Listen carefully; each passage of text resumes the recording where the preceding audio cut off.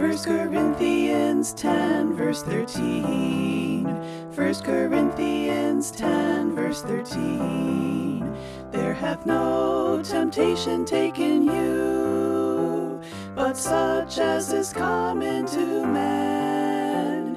But God is faithful, who will not suffer you to be tempted above that ye are able, but will with the temptation also make a way to escape, that ye may be able to bear it, that ye may be able to bear it.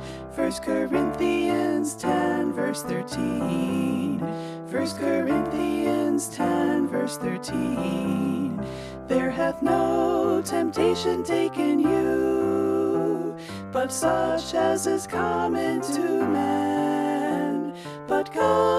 Is faithful, who will not suffer you to be tempted above that ye are able, but will with the temptation also make a way to escape, that ye may be able to bear it, that ye may be able to bear it. 1 Corinthians 10, verse 13. 1 Corinthians 10, verse 13.